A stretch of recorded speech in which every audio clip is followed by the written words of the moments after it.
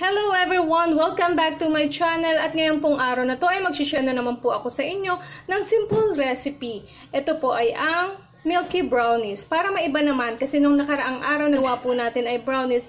So ang itatawag natin ngayon dito sa recipe na to ay milky brownies. Na nilagyan natin siya ng Milong frosting.